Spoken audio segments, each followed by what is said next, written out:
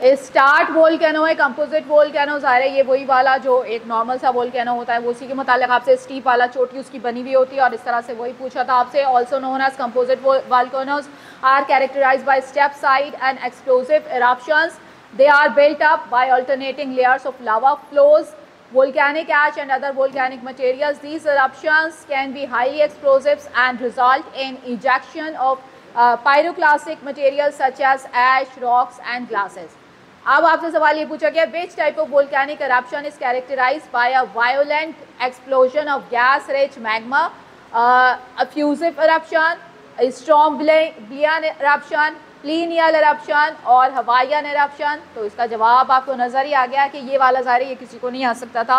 और इसका जवाब ज़ाहिर हमें ही बताना होगा प्लीनियल eruption कहलाती है ये, कौन सी eruption कहलाती है? Characterize by violent explosion of gas rich magma gas फट के एकदम से निकलती है मैग्मा निकलता है एक्सप्लोजन होती हैं और उसके बाद जो eruption होगी वो आपकी पिलीनियल eruption कहलाती है। Plinian eruption is characterize by a violent explosion of rich gas magma these eruptions are highly explosives and can produce large volcanic ash clouds पूरे के पूरे आपको बादल बनते हुए नज़र आते हैं pyroclastic flows and volcanic debris debris का मतलब है जो इस तरह से यूँ यूँ घूमती हुई जाती हैं, इधर उधर जो आपको नज़र आती हैं, जिस तरह आप, अगर शब बारात में आपने देखी हो कि एक डिबरी कहलाती है, कि ठीक है, वो जैसे आप उसको जलाते हैं तो वैसे गोल गोल राउंड राउंड घूमती जाती है तो इसमें से भी एशेज जब निकल रहे होते हैं तो वो एक्सप्लोजिव्स के थ्रू और इस तरह से ये निकल रहे होते हैं तो वो एक्सप्लोजिव होते हैं and can produce large volcanic ash clouds pyroclastic flows and volcanic debris Uh, Plinial eruptions are named after Roman historian Pliny uh, the Younger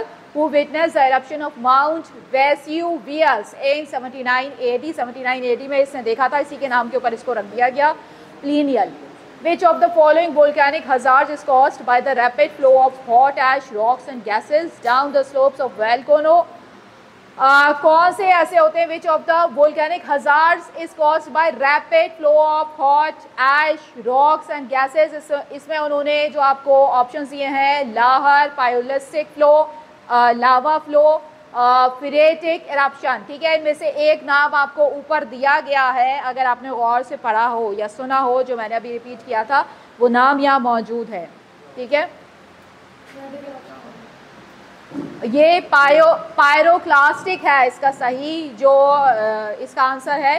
pyroclastic जो है, ये एकदम से जो निकलती है, फ्लो ऑफ़ एश और ये जो रॉक्स आपका कहलाता है, इसको पायरोक्लास्टिक फ्लो, ये ऊपर बयान किया हुआ एक्सप्लेनेशन अभी जब मैं दे रही थी तो मैंने बताया था।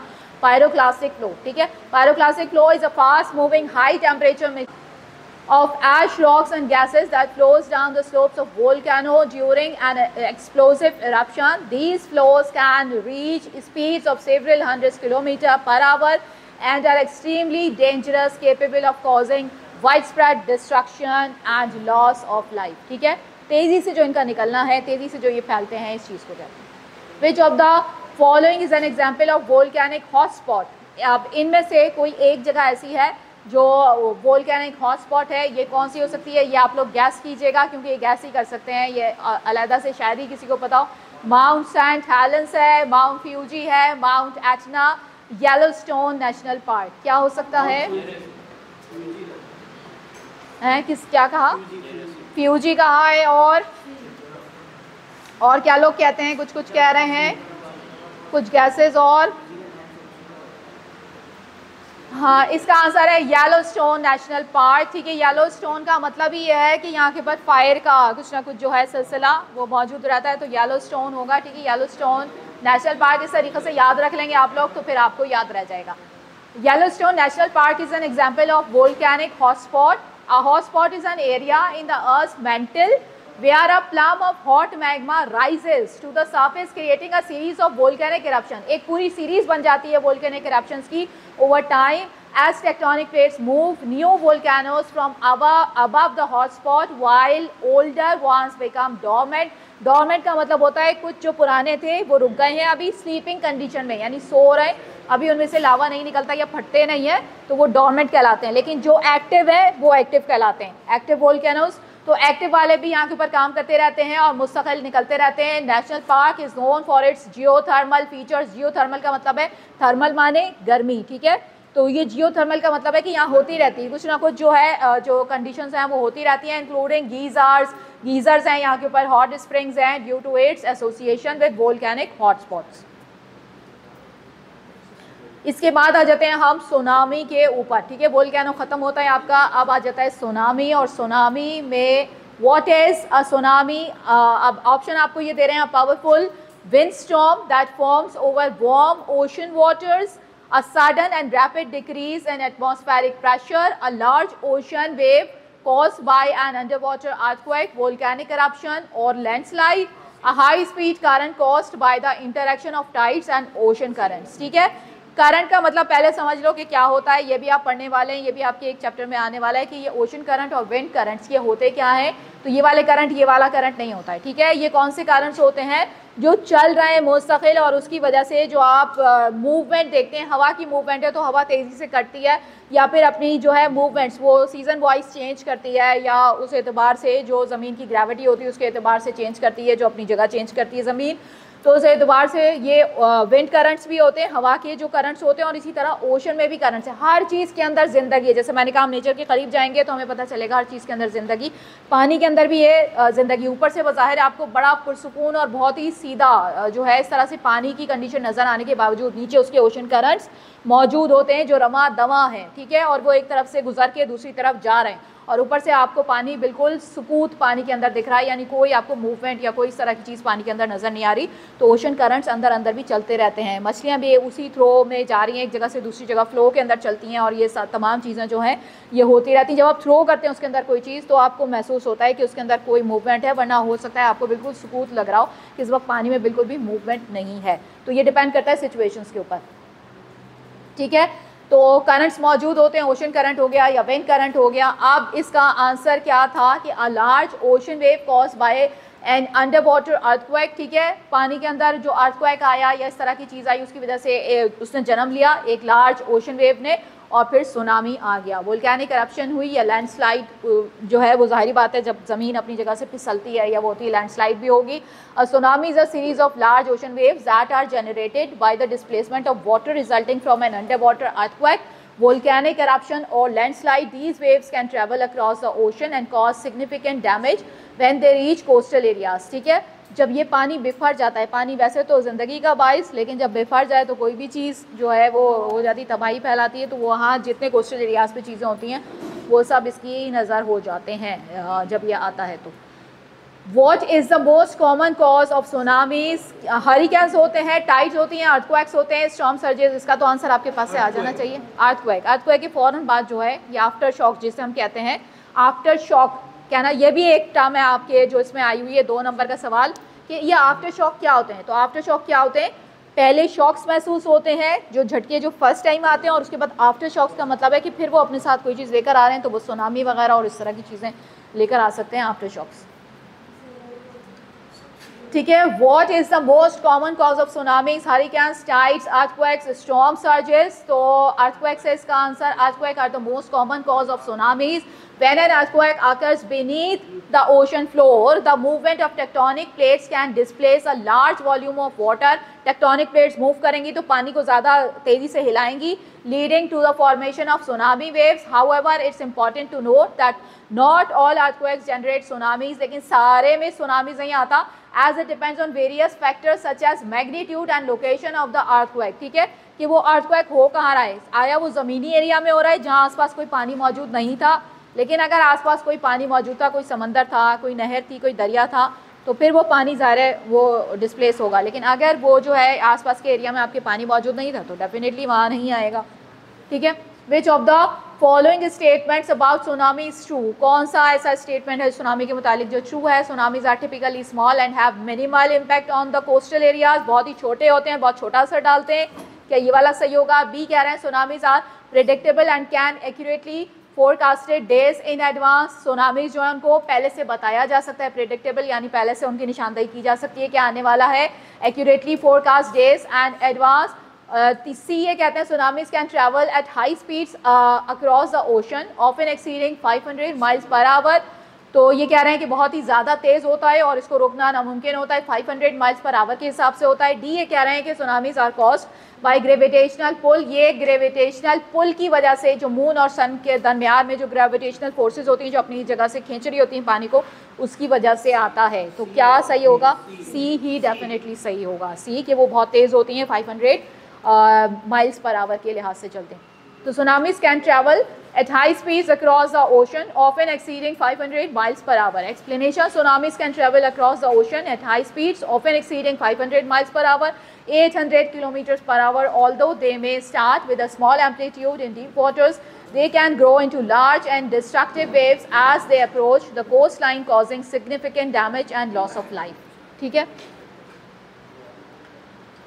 अच्छा जी क्वेश्चन नंबर फोर और यहाँ पे एक मिनट के लिए हम रुकते हैं। हम कैमरा मैन से कहेंगे कि जब जब हम वहाँ पे जाया करें तो प्लीज़ कैमरा जो है वो स्क्रीन पे आ सकता है कि वो मूव करता रहे। कि जैसे मैं उधर जाऊँ तो वो कैमरा इधर आ जाए और जैसे मैं एक्सप्लेन करूँ तो वो फिर इधर आ जाए। क्या ऐसा पॉसिबल है? वहीं पर है तो फिर ठीक है। ठीक है ठीक है, फिर सही है। Which of the following is not a warning sign of an approaching tsunami which of the following is not अब नॉट जो है वो इंपॉर्टेंट है। अब पहले हम वार्निंग देख लेंगे कि क्या होती है और फिर उसके बाद नॉट जो आएगा वो आंसर होगा definitely not a warning sign of an approaching tsunami कोई आने वाला है सुनामी इसके लिए कौन सी ऐसी चीज़ है जो नहीं जो कंसिडर की जाती? Usual ocean behaviour such as a rapid recession और rise of water levels strong strong shaking of ground during an earthquake, observing a large number of fish near a shoreline, hearing a loud roaring sound similar to a freight train. कौन सी ऐसी चीज़ होगी? B B कह रहे हैं आप लोग या डी कह रहे हैं? बी बी डी कह रहे हैं अच्छा।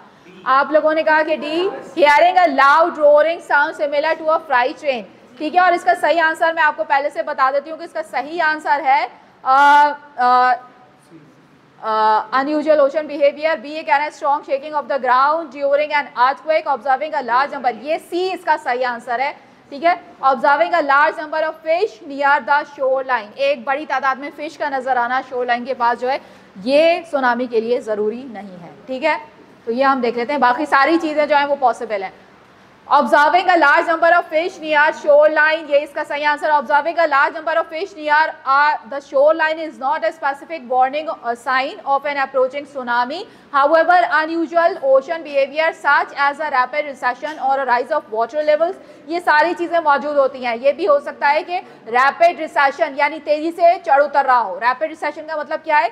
नीचे हो जाना। रिसेशन अमूमन कहते हैं कि इसको इकोनॉमिक टर्म है। इसका मतलब है कि कमी हो जाना किसी चीज़ की, ठीक है? तो रिसेशन का मतलब है पानी एकदम से कम हो जाएगा, ज़्यादा हो जाएगा। इस तरह की चीज़ें आपको नज़र आएँगी। स्ट्रॉन्ग ग्राउंड शेकिंग नज़र आएगी। ज्यूरिंग ड्यूरिंग एन का हियरिंग लाउड ये वाली चीज़ भी मौजूद होगी। Loud roaring sound similar to a freight train ठीक है? इस तरह की आवाज़ भी आपको सुनाई देती है। Can be indicators of impending tsunamis जब पानी मूव कर रहा होता है या अंदर अंदर उसके जो हरकत आ रही होती है तो उसकी वजह से आपको इस तरह की साउंड्स भी महसूस होती हैं। जी? दोनों दो ऑप्शंस कौन से? सी और डी सी क्या था? सी तो हमने बताया ना अभी और डी क्या था? ट्रेन की, नहीं ट्रेन की साउंड जो है, वो तो सब एक साथ उन्होंने दे दी ना कि ये साउंड की आवाज़ आती है। इस तरह की कुछ आवाज़ आपको, ये पानी जब मूव करता है नीचे या उसके नीचे आपको झटके महसूस हो रहे हैं, समंदर के नीचे तो फिर एक अजीब सी साउंड आपको आती है। वो इससे मुशाबे होती है। जो ट्रेन हुआ करती थी, उस वक्त चला करती थी फ्राइट ट्रेन जो सामान लेके लोड करके ट्रेन चलती थी तो उस वक्त की जो आवाज़ होती थी तो उस टाइप की आवाज़ आती है। Which of the following is not a warning sign of an approaching ये तो हो गया ना। Which oceanic region is commonly refer to as the ring of fire ठीक है? ये तो इसका आंसर दिखाई दिया आपने which of the oceanic region is commonly refer to as ring of fire ये भी किसी को नहीं पता होता due to its high frequency and earthquakes and volcanic activity make it prone यानी कि टू सुनामीज के ऐसी कौन सी जगह यहाँ पे मौजूद है जिसको ज़्यादातर कहा जाता है? रिंग ऑफ़ फायर का मतलब है, कि इर्द गिर्द कुछ ना कुछ होता रहता है। फायर का मतलब है बोल कैनोज मौजूद हैं। कुछ ना कुछ इस तरह की रापशांस कुछ ना कुछ इस तरह के जलजले, कुछ ना कुछ इस तरह की चीज़ें जो हैं, वो वहाँ नज़र आती रहती कभी कोई वोल्केनो कैनो फट गया, कभी कोई जो है, वो इस तरह के जो गीज़र्स हैं, इस तरह की चीज़ें जो हैं वो वहाँ मौजूद है और ये पूरा इस तरह से गोल दायरे की शक्ल में उसको घेरा हुआ इलाके को। तो ये रिंग ऑफ़ फायर कहलाता है और ये पैसिफिक जो आपका ओशन है, इसका एरिया है, ठीक है? इसके इर्द गिर्द आपको इस तरह की चीज़ें नज़र आ जाती हैं जहाँ के ऊपर कॉमनली कुछ ना कुछ होता रहता है। और ये किस वजह से? क्योंकि यहाँ टेक्टोनिक प्लेट्स मौजूद हैं, ठीक है? और वो टूटी हुई हैं बीच बीच में से, जिसकी वजह से क्या होता है कि नीचे से उसको निकलने का मौका मिलता रहता है कहीं ना कहीं से और वो अपनी हरकत दिखाते रहते हैं। तो ये पैसिफिक ओशन के पास है ring of fire Pacific Ocean is commonly refer to as the ring of fire because it is an area with a high concentration of tectonic plate boundaries बहुत सारी यहाँ पे मौजूद हैं छोटी छोटी बाउंड्रीज होंगी, जो बनी हुई प्लेट्स होंगी। जिनके लिए बाउंड्रीज बन गई हैं। रिजल्टिंग अ फ्रीक्वेंट अर्थक्वेक्स जल्दी जल्दी झटके महसूस होते हैं। यहाँ पे वोल्केनिक एक्टिविटी होती रहती है। The interaction of these tectonic plates along Pacific Ocean make this region particularly prone to tsunamis और इसी वजह से यहाँ जो है पानी भी इर्द गिर्द मौजूद है तो वो पानी फ़ौरन ऊपर उठता है और इलाके को जो है मुतासर करता रहता है। एवलेंच पे आ जाते हैं हम। टाइम मुझे बता दीजिएगा। पौने पाँच। पाँच हो गए पूरे अच्छा। एवलेंच एवलेंच का मतलब होता है जो बर्फ़ स्लाइड कर रही होती है, गिर रही होती है, ठीक है? तो बहुत सारे ऐसे बर्फ़ानी इलाके, जो बर्फ़ानी कंट्रीज़ हैं, और मैं आपको बताऊँ कि इसके लिए बाकायदा जो है, वो कवानीन भी बने हुए हैं, ठीक है? कि अगर बर्फ़ स्लाइड करती है एक कोई साहब थे वो एडमिशन लेने के लिए, जब यहाँ आए, वो बाहर के इलाके से, बर्फ़ानी किसी इलाके से आए, और यहाँ आके वो किसी इंस्टीट्यूशन में एडमिशन ले रहे थे तो उनसे सवाल किया गया कि भाई तुम यहाँ एडमिशन किस लिए ले रहे हो? तो उसने कहा कि यहाँ जो है वो ज़्यादा आसानियाँ मैसर हैं और इस तरह की चीज़। तो उन्होंने हैरान होकर जो उनसे जो थे वो इंटरव्यू ले रहे थे, उन्होंने कहा कि हैं, वहाँ से ज़्यादा आसानियाँ यहाँ मैसर हैं। क्या मतलब आपको लगा? तो कहने लगे कि वहाँ के ऊपर जो है वो ज़िंदगी बहुत दुशवार है। वहाँ के ऊपर जो है अगर आप, आपके घर के बाहर, वैसे तो गवर्नमेंट साफ़ करती है वहाँ की सड़कें वगैरह बर्फ़ जो गिरती है। लेकिन अगर आपने अपने घर के बाहर से सफ़ाई नहीं की बर्फ़ की चाहे जो भी कंडीशन हो रही हो आपके हाथ पाँव कड़े रहे हो कुछ भी ऐसा हो रहा हो तो आपके ऊपर मुकदमा हो जाता है और उसका शिकार कोई हो गया वहाँ से गुजरने वाला मसलन। तो वो जो है आप उसके ज़िम्मेदार ठहराए जाएँगे और आपको बात बात के ऊपर उसके ऊपर जो है पनिशमेंट्स होती रहती हैं गवर्नमेंट की तरफ़ से। तो ये आपके लिए लाजमी है कि आप जो है वो सड़क की सफ़ाई गवर्नमेंट करें और बाहर निकल के अपने घर के सामने की सफ़ाई आप खुद करें, जो भी कंडीशन हो। तो ये बहुत दिक्कत तलब काम है, बहुत ही मुश्किल काम है जो हम नहीं कर सकते, जिसकी वजह से हम वहाँ से माइग्रेट करके यहाँ आ गए और यहाँ के ऊपर हम एडमिशन ले रहे हैं, यहाँ हम यहाँ की डिग्री या यहाँ का जो भी कुछ हासिल कर रहे हैं और यहाँ के लिए कोशिश कर रहे हैं। तो यहाँ आसान है उसकी बनस्बत तो ये बात उन्होंने कही। अब ये देखिए कि ये बहुत सारे एरियाज़ इसमें रशिया भी आ जाता है, इसके अंदर जो है कैनेडा भी आ जाता है, इसके अंदर ये वाली और कैनेडा के लिए आपको पता है कि बहुत सारी कितनी साइट जो है वो ओपन है। वहाँ के ऊपर जो है वो आपको जो है यूथ जो है उसको जो है वो अट्रैक्ट किया जा रहा है। बहुत सारी आपको जो है अट्रैक्शंस मिलती हैं, रास्ते खुले हुए हैं और कहा जाता है कि आप यहाँ आइए और यहाँ स्टडी कीजिए और यहाँ आपको रिहाइश भी दी जाएगी और इस तरह की चीज़ें आसानियाँ फराम की जाएँगी। वो इसी वजह से कि मौसम बहुत सख्त होता है, लेकिन सख्त मौसम के साथ साथ आपको पाबंदी भी करनी है, बहुत से रूल्स एंड रेगुलेशंस की, ठीक है? और वो मेहनत तलब जो हमारे यहाँ के अक्सर लोग जो हैं, वो आराम तलब ज़्यादा होते हैं। ख़ास करके हमारे यहाँ के बॉयज़ जो हैं, अभी जेंडर स्टडीज़ नहीं पढ़ा रही हूँ। लेकिन ये कि वो इतने ज़्यादा उन्हें जो है, घरों में माए, माओ के लाडले, ठीक है? और वो घरों के सारे जो हैं, वो होते हैं। बच्चियाँ थोड़ा बहुत कर रही होती हैं कि बेटा अभी से ट्रेंड हो जाओ, जाना है आगे, इतने इतनों का संभालना पड़ेगा। तो वो वाली कंडीशन होती है ना? तो थोड़े आराम तरफ़ थोड़े इस टाइप के होते हैं कि उनको मुश्किल होता है। एक वक्त आता है कि फिर जिम्मेदार यही लोग हो जाते हैं। मैं कहती हूँ कि फिर वो वक्त आना है बहरहाल। कि ज़िम्मेदारी इनकी कम और इनकी ज़्यादा हो जाती है आने वाले दिनों में, क्योंकि इनकी ज़िम्मेदारी फिर घर की भी है, अपने बीवी बच्चों की है, फिर जो दोस्त हैं, उनको भी सपोर्ट कर रहे होते हैं फैमिलीज़ कोई खुदा ना करे, कोई मर गया है, उसकी फैमिली को सपोर्ट करना है या फिर भाई, बहनों की शादी है और बहुत सारी जिम्मेदारियाँ उनकी, भाई की तालीम है, बहन की शादी तो बहरहाल बहुत सारे तो वो आगे चल के होता है, लेकिन उससे पहले का जो पीरियड होता है, वो इन लोगों के लिए थोड़ा आसान होता है और इन लोगों के लिए थोड़ा टफ होता है। बहरहाल, ये हम जब पढ़ेंगे जेंडर स्टडीज़ उस वक्त अभी जो है हम अपने इस पे आ जाते हैं कि हम बर्फ़ स्लाइडिंग की बात कर रहे हैं कि ये कितना डिफ़िकल्ट होता है वहाँ के ऊपर और उसके लिए लॉज हैं रेगुलेशंस हैं और ये कितने ज़रूरी हैं। अगर ऐसा ना हो तो फिर क्या क्या कंडीशंस होती हैं वो भी देख लेते हैं। What is an avalanche a sudden rise in the sea level caused by a hurricane a rapid flow of hot lava down the slopes of volcano ठीक है?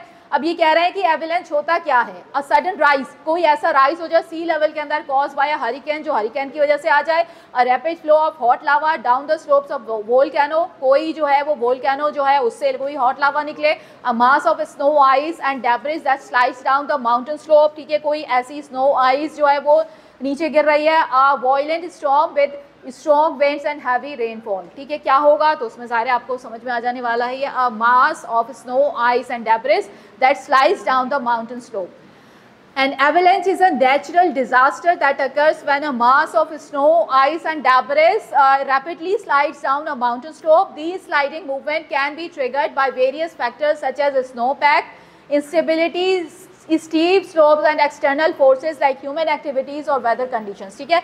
अब इन्होंने दो तीन बातें यहाँ पे थोड़ा सा रोक लेते हैं, बता देते हैं आपको। ह्यूमन एक्टिविटीज़ में ये भी आ सकता है कि आप वो जो, वो होते हैं ना, आगे लंबी सी लगी हुई और उसके ऊपर स्लाइड कर रहे होते हैं स्टेक्स कहते हैं, उन्हें क्या कहते हैं कि वो पहन के आप उसके ऊपर स्लाइडिंग कर रहे हैं और उसमें आपकी वो जो है, उसकी नोक कोई ऐसी जगह के ऊपर बर्फ़ के आ गई कि जिसकी वजह से क्या हुआ? कि बर्फ़ ने स्लाइड करनी शुरू कर दी, ठीक है? एक ह्यूमन एक्टिविटी ये हो सकती है। अच्छा दूसरी ह्यूमन एक्टिविटी क्या हो सकती है?